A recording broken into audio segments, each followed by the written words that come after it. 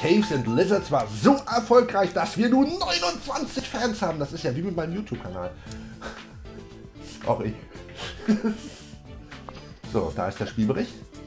Spielberichte sind eine großartige Möglichkeit, um Forschungspunkte und wertvolle Erkenntnisse zu bekommen. Es zahlt sich aus, einen Spielbericht für jedes Spiel, das du veröffentlichst, zu erstellen. Jetzt, da du deinen ersten Spielbericht fertig hast, lohnt sich ein Blick ins Forschungsmenü.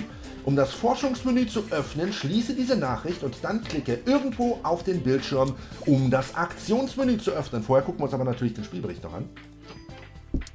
Unsere Analyse nach Verkaufsstart von Caves and Lizards ist beendet und wir haben folgende Resultate erhalten. Erstens, Fantasy und Rollenspiel ist eine großartige Kombination. Zweitens, Sound scheint für diese Art von Spiel nicht sehr wichtig zu sein. Drittens, Plattform, Genre, Übereinstimmung, PC plus Rollenspiel ist gut. So, dann gehen wir jetzt mal, während wir hier nebenbei noch ein bisschen Geld verdienen, gehen wir jetzt mal in die Forschung. Forschung ist wichtig, um neue Optionen freizuschalten und bessere Spiele zu entwickeln. Du solltest versuchen, genug Forschungspunkte zu sammeln, um eine eigene Spielengine entwickeln zu können. Das wird deine Spiele drastisch verbessern, kostet aber auch ein bisschen was. Also das Hinweis. Versuche Spiele mit verschiedenen Themen und Genre-Kombinationen zu entwickeln, um einen kleinen Forschungsboost zu bekommen. So, wir bräuchten 50 Forschungspunkte für eine eigene Spielengine. Oder wir könnten jetzt mal gucken und ein neues Thema freischalten. So, haben wir mal die nächsten vier, können wir hier in der Reihe immer freischalten. Welche das sind, ist wie gesagt zufällig. Ich glaube ganz am Anfang, als das Spiel noch Early Access war und ich das erste Mal mit ihm in Kontakt gekommen bin, da waren die, die ersten vier, glaube ich, noch vorgegeben. Und danach war dann äh, zufällig, aber äh, inzwischen ist es tatsächlich komplett zufällig. Und ich mache jetzt mal, ich nehme mal Detektiv. Erforschen wir mal Detektiv, weil da habe ich schon eine Idee, was wir da für ein Spiel machen könnten. Caves and Lizards hat mit über 10.000 verkauften Stück einen neuen Firmenrekord aufgestellt. Dies ist ein wichtiger Meilenstein in der Geschichte von Let's Play Better. So, wir sind schon fünf Monate ins Spiel rein, ne?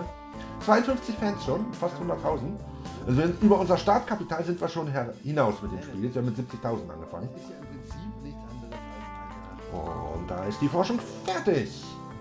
Fertig. Geht doch. Du hast erfolgreich ein neues Thema erforscht. Detektiv.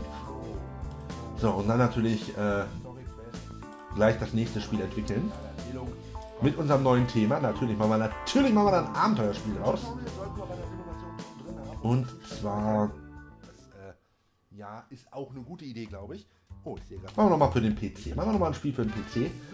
Ein Detektiv-Abenteuerspiel. Und zwar ist das äh, die Abenteuer von Herlock Textbasiert. Ein bisschen Geld sparen jetzt hier für, für zu der Zeit. Ich, ich mache einfach. Ist vielleicht nicht die beste Idee, weil wir sollten die 2D-Grafik so ein bisschen hochpushen, aber passt schon. Ich glaube, Stufe 2 haben wir sowieso automatisch freigeschaltet, wenn wir eine Engine äh, erstellen dann. So, hier ist natürlich, ja, die Engine ist unbedeutend. Das Gameplay geht auch runter, Story, Quests. Für Adventure natürlich ganz wichtig. Ich möchte an den Überraschungserfolg von Fall in the Irgendwann, äh, ihr seht, die Einnahmen gehen runter. Irgendwann wird das Spiel dann natürlich auch vom Markt genommen. Deswegen sollten wir zusehen, dass wir relativ zügig dann auch neue Spiele entwickeln. Gerade in der Anfangszeit. Später kann man sich da tatsächlich ein bisschen mehr Zeit mitlassen, obwohl größere Spiele. Das, was wir hier machen, sind alles noch kleine Spiele, weil wir als Einzelperson nur kleine Spiele machen können. Es gibt noch vier weitere Größen. Vier. Mittel, groß, X, also Triple X und äh, MMORPG sind, glaube ich, die, die, die größten. Und die brauchen natürlich alle unglaublich viel Entwicklungszeit. Gar nicht mal so wenig. Nein, mein Hals kratzt schon wieder. Scheiße ist raus.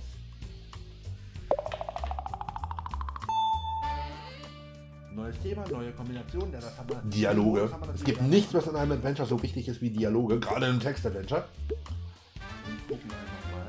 Vielleicht haben wir auch ein grafik Natürlich überaus wichtig. Ich habe damals auch mal ein Text-Adventure. Ein, zwei Text-Adventure habe ich. Das wird unserem nächsten Spiel auf jeden Fall zugute kommen. Ähm, Ich habe ich hab auch mal damals, als ich in der Schule war, mit einem, so mit einem Kumpel zusammen angefangen, haben wir ein, ein, ein Rollenspiel, so ein, so ein Top-Down-Rollenspiel äh, angefangen zu programmieren.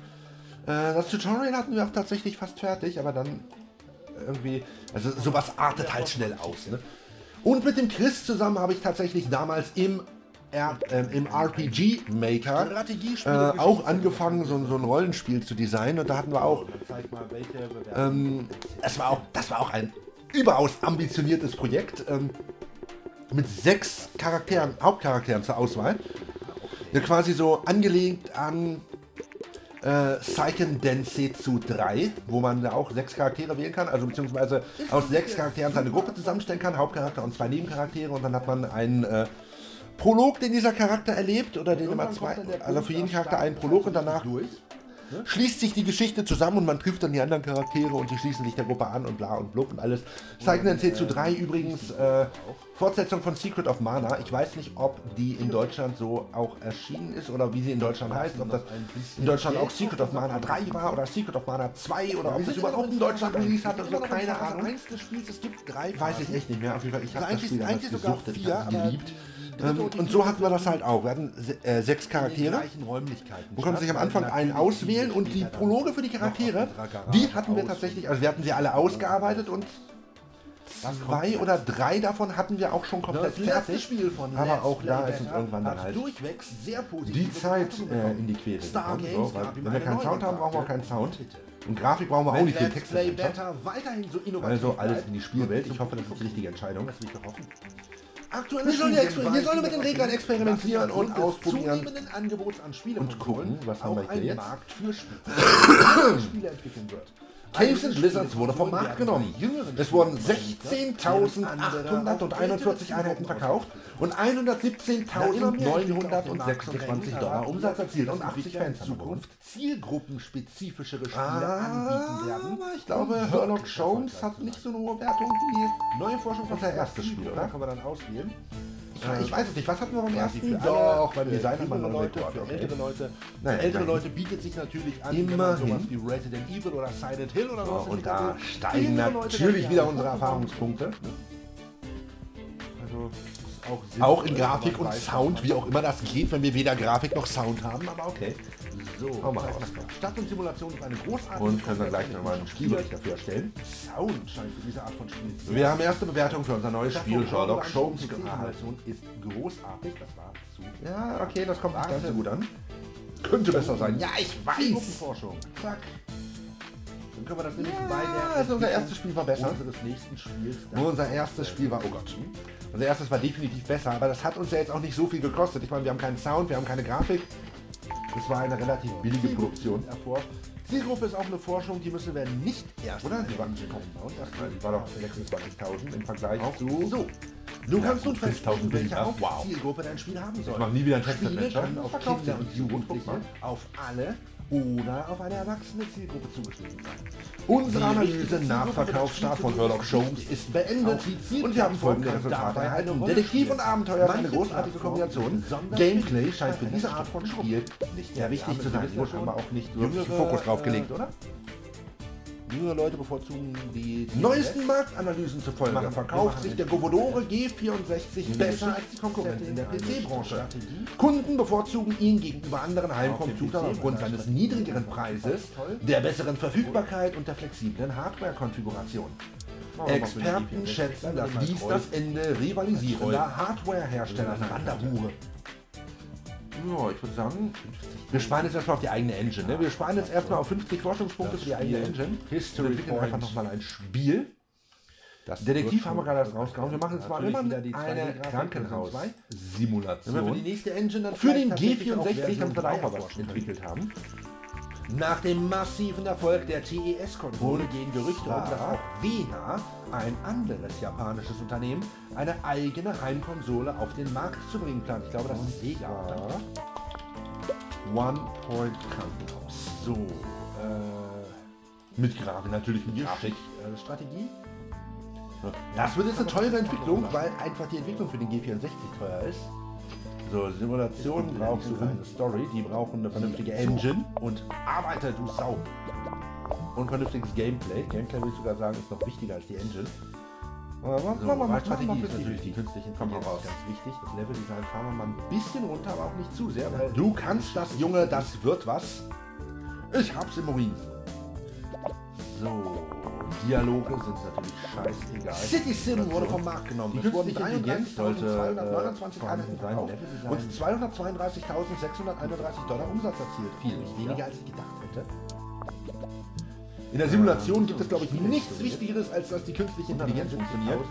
Denn sonst ist das 93.000 vorne. Ist Sonst kommt da sowas bei raus wie in äh, Far Cry 5 oder so. Da, also bis jetzt haben alle unsere Spiele Gewinn gemacht. Das ist am Anfang Grafik aber natürlich ist die das Grafik hier ganz wichtig und Sound So, auch. Das Spielweltdesign und mal können wir Spielweltdesign etwas hoch. Das ist, äh, Simulationen sind ja mehr so ein technisches Spiel. Wir wollen unseren Leuten ja was bieten. Und trotzdem Und soundtechnisch entsprechen unsere ist mit dem PC-Speaker fast äh, dem, zu diesem was wir bei Zeitpunkt den anderen spielen. Ehrlich gesagt noch nicht so wirklich viel. Sherlock Holmes wurde vom Markt genommen. Es wurden 9650 Einheiten verkauft und 67.500 Mal gucken, wie es den Leuten gefällt. Wir machen keine Rekorder. Das ist äh, Auch mit dem Spiel. prinzipiell immer schon mal nicht so geil.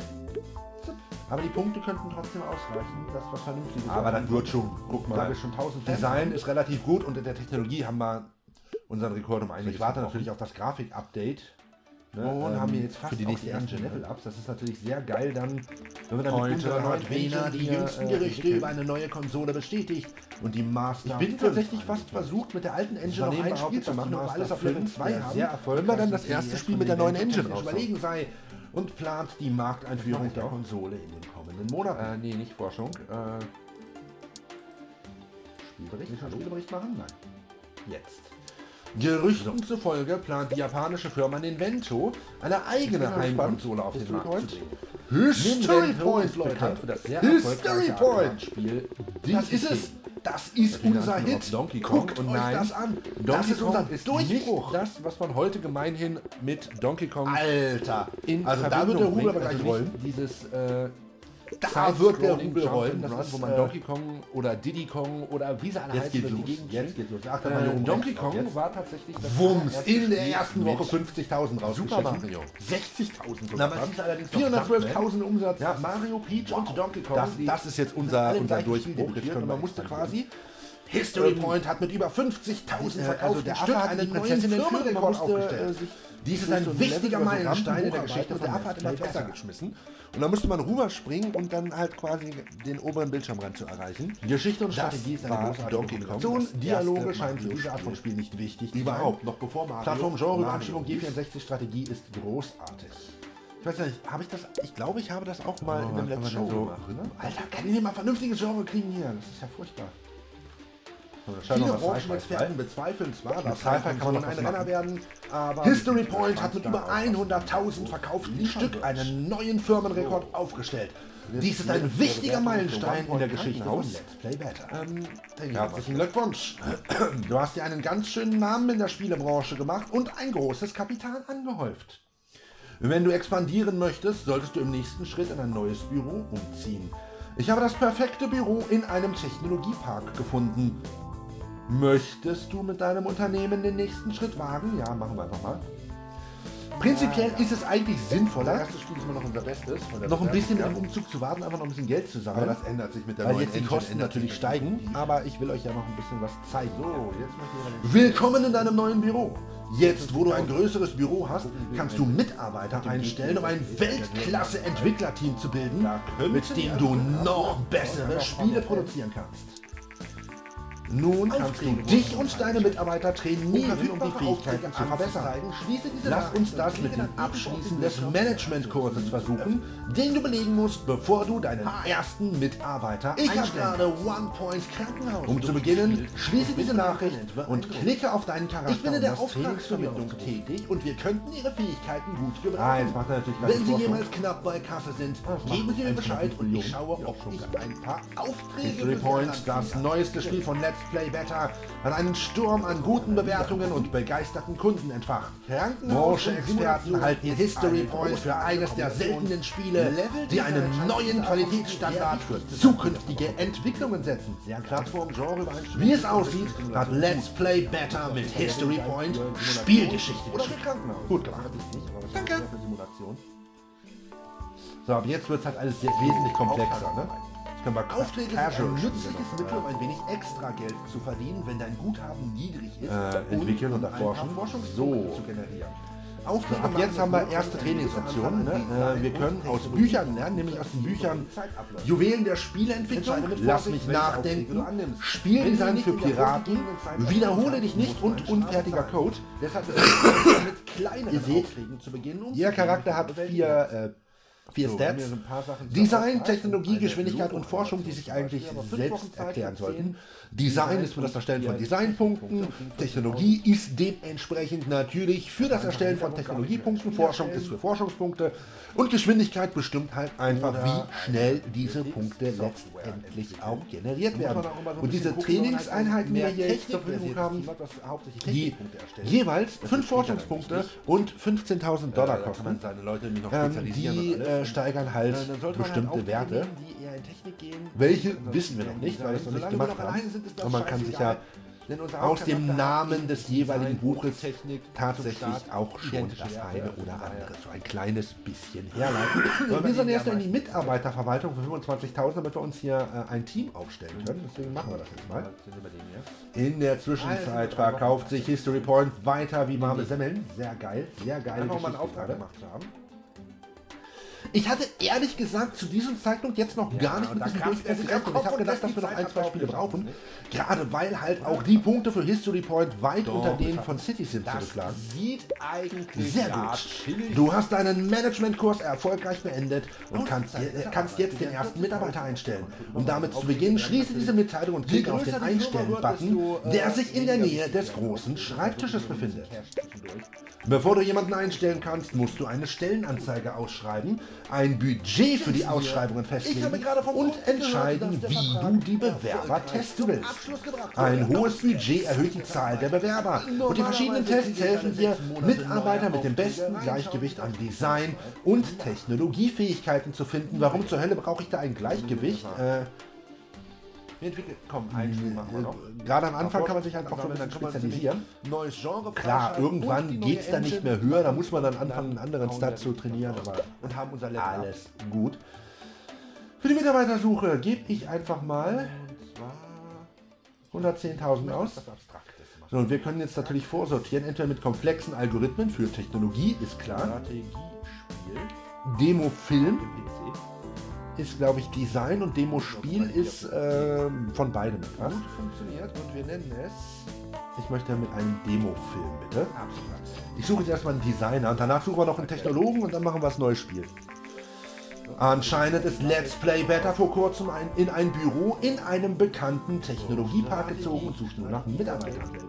Das Unternehmen, welches für Spiele wie History Point und Fall-In bekannt ist, hat bisher angeblich in einer Garage gearbeitet.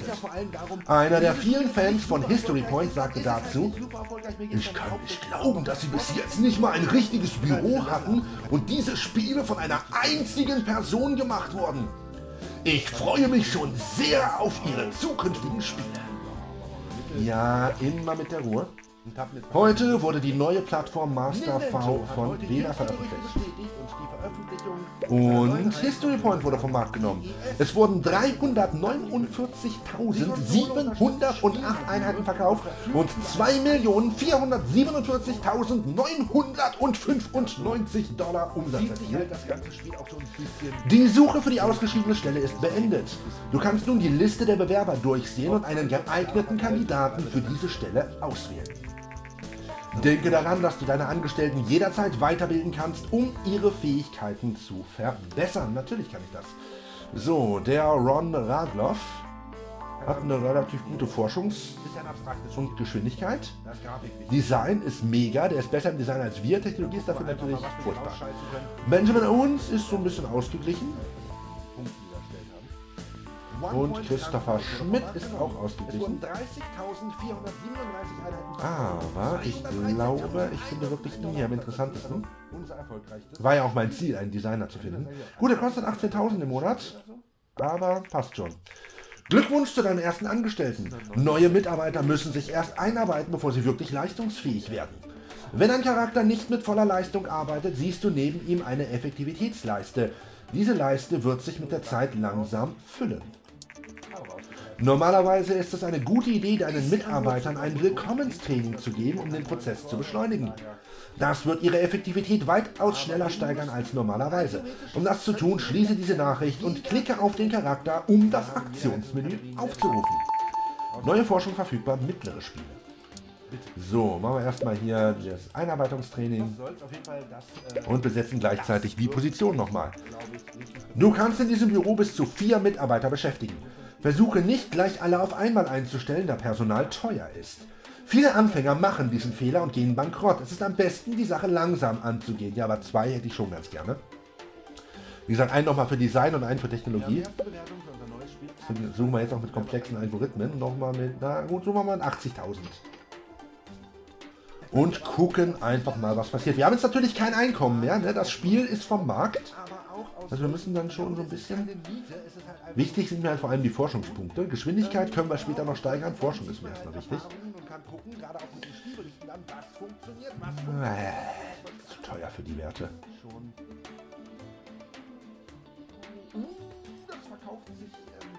Hm. Ja, mit Abstand die meisten. Na nicht mit Abstand. Weil die anderen haben halt mehr Tempo, ne? Wir sollten trotzdem einen Gewinn na komm, die 18.000, das kriegen wir hin. So, der kriegt auch noch sein Einarbeitungstraining. Die vor kurzem veröffentlichte Konsole Master V von Vena hat den Markt weltweit in Bewegung gebracht. Brancheexperten meinen, dass die Konsole in Nordamerika nicht sehr gut vermarktet wird, in anderen Teilen der Welt jedoch sehr erfolgreich sein wird. So, hier können wir nebenbei noch mal ein bisschen forschen. Hm, einfach die Casual-Spiele. Casual, sorry. Dann machen wir gleich nochmal ein, zwei Aufträge, um ein bisschen Kohle reinzuholen, während die sich hier noch fertig einarbeiten. Das ist die Effektivitätsleiste hier, diese Leiste neben denen. Die äh, sinkt mit Erschöpfung, also wir müssen dann auch anfangen, die Leute auch in Urlaub zu schicken und sowas. Ähm, aber die sinkt halt auch, solange die Mitarbeiter noch nicht so voll eingearbeitet sind und steigt dann ganz allmählich wieder. So, machen wir erstmal alle Aufträge, die wir haben. Hallo nochmal. Ich habe gehört, dass Sie sehr erfolgreich in der Spielebranche sind und angefangen haben, Ihr Team zu erweitern. Ich habe unsere Kundenliste aktualisiert. Wenn Sie auf der Suche nach Aufträgen sind, lassen Sie es mich wissen, Jason. Mittelgroße Aufträge sind jetzt freigeschaltet. Wir machen jetzt noch ein paar Aufträge, dann machen wir noch mal ein Spiel und gucken, wie, äh, wie gut das ankommt. Und dann möchte ich hier auch für heute zum Ende kommen. Die Aufträge mache ich eigentlich nur, um Zeit zu überbrücken, während die Leute sich noch ein bisschen einarbeiten.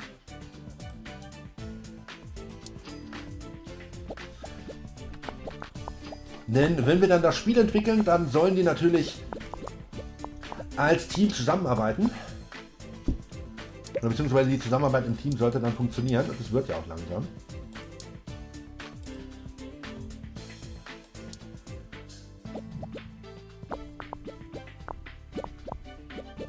Der hier schon Urlaub, der, der Ron?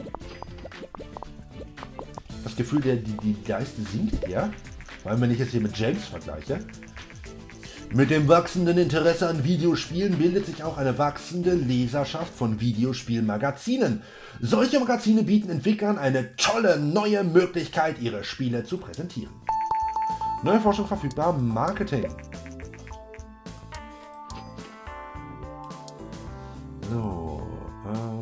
Das werden wir nie im Leben schaffen. Den vielleicht. Den könnten wir eventuell schaffen, wenn die jetzt wirklich mal vernünftig zusammenarbeiten und der James sich nicht eine ganze Woche an den Haaren kratzt. Das ist ja furchtbar. Kürzliche Marktanalysen zeigen, dass der Govodore G64 gegenüber anderen PC-Herstellern langsam an Marktanteilen verliert. In einer inoffiziellen Stellungnahme erklärt ein Angestellter von G64, dass das Unternehmen es nicht geschafft habe, teurere Computer auf den Markt zu bringen, um sich gegen neuere und fortschrittlichere PCs zu behaupten. Tja. Und so gehen die Urgesteine der Spieleentwicklung langsam vor die Hunde. Okay, kann man noch irgendwas Schönes erforschen gerade? Mittlere Spiele. Das will ich aber tatsächlich jetzt noch gar nicht. So, alle auf Maximum. Komm, kloppen Spiel raus. Ein Sci-Fi-Spiel. Und zwar machen wir, wir ein ganz neues Genre. Machen wir mal ein Action-Spiel, wa? Machen wir mal ein Action-Spiel. Und zwar... Und zwar PC und G64 nehmen sich vom Marktanteil jetzt quasi gar nichts mehr.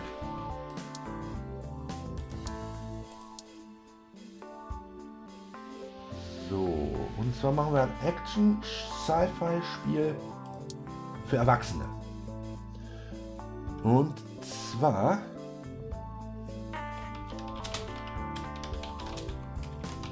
Duke Nukem. So. Bin mal gespannt, was bei rauskommt. Unsere erste Entwicklung im Team. Jo! In der Planungsphase erstmal gar nichts bei rausgekommen. Eine lineare Erzählung bauen wir natürlich ein. Ein bisschen Story soll das Spiel schon haben. Schwerpunkt liegt natürlich auf Gameplay und Engine. Legt los, Leute. Trink keinen Kaffee, leg los. Ah, da purzeln die Punkte. Und sind tatsächlich gar nicht so viel mehr beeindruckend wie das, was wir ganz alleine in unserer Garage produziert haben. Was ist da los? Ja, ich glaube, das können wir so lassen. Das können wir so lassen. Ihr werdet ja wohl wenigstens mehr Punkte zusammenkriegen als ich alleine. Das ist ja gerade echt enttäuschend.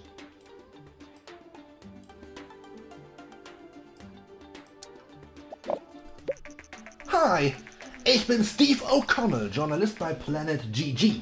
Wir haben Gerüchte gehört, dass Sie gerade ein Spiel für ein erwachsenes Publikum entwickeln. Würden Sie uns ein Interview darüber geben? Ja, klar. Super, vielen Dank für Ihre Zeit. Wir werden das Interview nächste Woche veröffentlichen. Es gibt ein bisschen äh, Marketingpunkte, glaube ich. Ninvento hat heute eine Handheld-Konsole mit dem Namen GameLink angekündigt. Was zeichnet das Gerät aus? Austauschbare Module, ein einfarbiger Bildschirm auf grünem Hintergrund, eingebaute Lautsprecher und sogar ein Mehrspieler-Modus via Linkkabel. Im Vergleich zu PCs und anderen Spielkonsolen ist der Gameling technisch gesehen keine Sensation, aber da er so kostengünstig und tragbar ist, könnte er eine große Fangemeinde finden. Der Gameling wird in zwei Monaten in die Regale kommen. Na, für den können wir vielleicht auch tatsächlich mal was entwickeln. Planet GG hat vor kurzem ein Interview mit Let's Play Better veröffentlicht. Daraus geht hervor, dass die Firma gerade dabei ist, ihr erstes Spiel für Erwachsene zu entwickeln.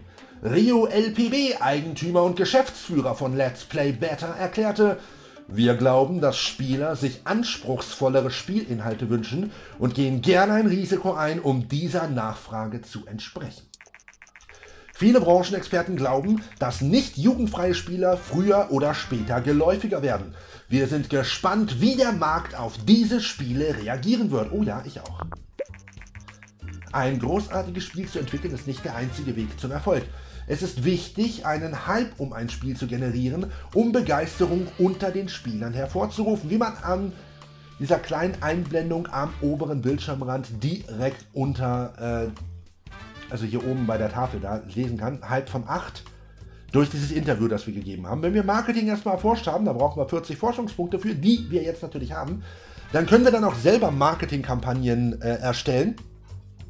Wobei wir da dann so ein bisschen auf das Timing achten müssen, dass das Timing so mit dem Release so ungefähr hinkommt, dass wir einen größtmöglichen Hype erzielt haben, damit wir dann natürlich auch mehr Kopien des Spiels unter die Leute bringen können. Also, aber jetzt hier fürs erste Mal am Anfang deiner Karriere wird Hype meist durch Zufallsereignisse erzeugt.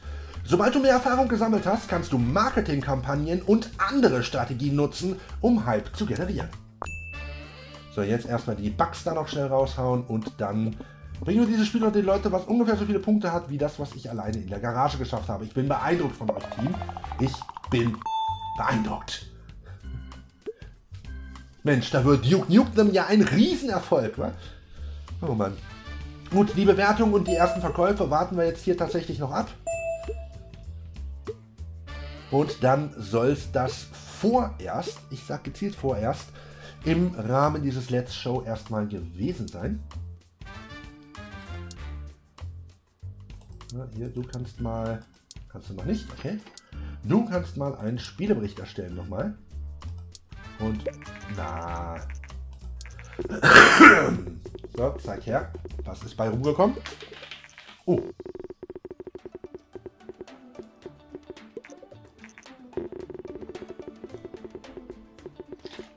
Ja gut, an die Bewertung von äh, History Point kommt es nicht an.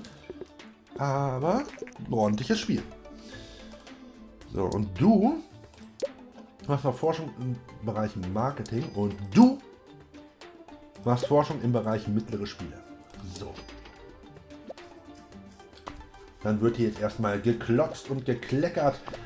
Und die Verkäufe halten sich in der Tat so ein kleines bisschen in Grenzen. Du hast Marketing erfolgreich freigeschaltet. Du kannst die Marketing-Option im Aktionsmenü aufrufen, aber nur, wenn du dich in der Entwicklung eines Spiels befindest.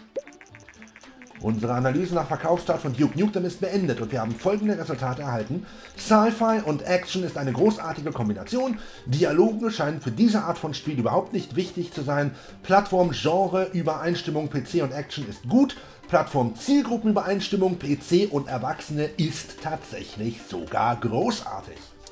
Und trotzdem verkauft sich das Spiel nur mäßig. Im Vergleich zu anderen Spielen, die wir rausgehauen haben. Hallo Rio LPB. Ich verfolge, die, ich verfolge die Entwicklung von Let's Play Beta seit einer Weile und es scheint, dass sie nach ihrer kürzlichen Expansion angefangen haben, größere Spiele zu entwickeln. Umfangreichere Spiele verdienen es, von einem größeren Publikum wahrgenommen zu werden. Das ist der Punkt, an dem Publisher von Vorteil sind. Ein Publisher wird ihre Spiele weltweit vermarkten und verkaufen. Er wird Ihnen auch bei der Finanzierung behilflich sein. Im Gegenzug wird er den Großteil der Gewinne selbst einstreichen, aber da die Verkäufe sehr viel höher ausfallen werden, lohnt es sich meistens trotzdem. Ich kann Sie mit ein paar Publishern bekannt machen, damit Sie sich die verfügbaren Aufträge ansehen können. Sagen Sie mir einfach Bescheid. Jasmine Droke. Und damit haben wir jetzt die Publisher-Aufträge und Publisher-Verträge freigeschaltet.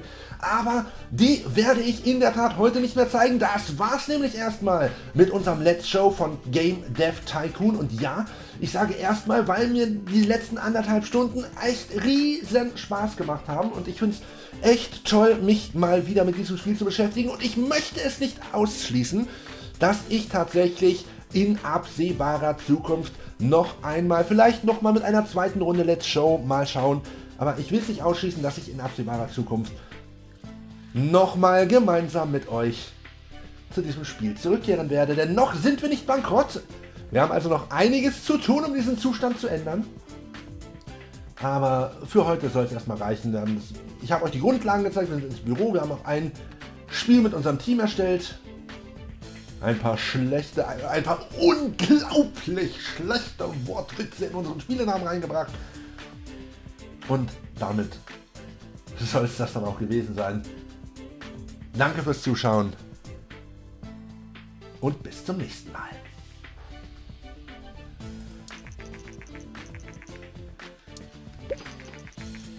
Hm. So, okay, jetzt aber. Speichern speichern. So, gespeichert. Und